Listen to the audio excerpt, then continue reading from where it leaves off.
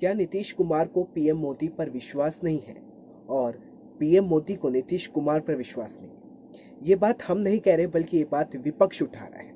नमस्कार, आप देख रहे हैं थ्री एन न्यूज़ नेटवर्क। मैं हूँ आपके साथ विपुल माहेश्वरी। इन दिनों बिहार में चुनाव प्रचार जोरों पर है, लेकिन चुनाव प्रचार के बीच बीजेपी और जेडीयू के विज्ञापन पर अब विपक्ष लगातार तंज कसता नज़र आ रहा है।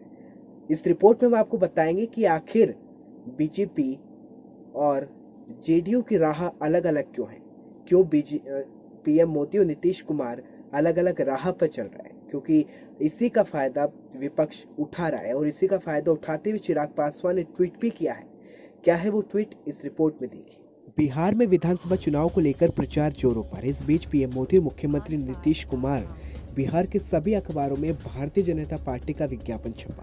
इस विज्ञापन में पीएम मोदी की तस्वीर के साथ ये लाइन थी कि भाजपा है तो भरोसा है। एनडीए को जिताए इस विज्ञापन में भाजपा के वादे जैसे कोरोना वैक्सीन मुफ़्त देने जैसे वादों के साथ 19 लाख रोज़गार का सृजन करने का वादा भी लिखा गया। लेकिन इस विज्ञापन को लेकर विपक्ष नीतीश कुमार पर निशाना साध रहा है और इसमें सबसे आगे रहे चिराग पासवान। चिराग पासवान ने ट्वीट कर इस विज्ञापन पर चुटकी चिराग पासवान ने अपने ट्विटर में लिखा कि आदरणीय नीतीश कुमार जी को प्रणाम पत्र की आवश्यकता खत्म होती नहीं दिख रही। बीजेपी के साथियों का नीतीश कुमार जी को पूरे पन्ने का विज्ञापन और प्रमाण पत्र देने की शुक्रगुजार होना चाहिए और जिस तरीके से भाजपा गठबंधन के लिए ईमानदार है, वैसे ही नीतीश जी को भी होना चाहिए। वहीं इस मामले पर आरजेडी ने भी ट्वीट किया है और कहा कि बिहार में मुख्यमंत्री चुना जाना है, प्रधानमंत्री नहीं। आपको बता दें, भाजपा नेताओं का कहना है कि विज्ञापन के पीछे रणनीति यह है कि नीतीश कुमार की तुलना में नरेंद्र मोदी की लोकप्रियता अभी भी बरकरार है। और नीतीश कुमार ने भी तो अपने पार्टी के विज्ञापन में एनडी के लिए वोट खुद के चेहरे पर मांगा है। ये विज्ञापन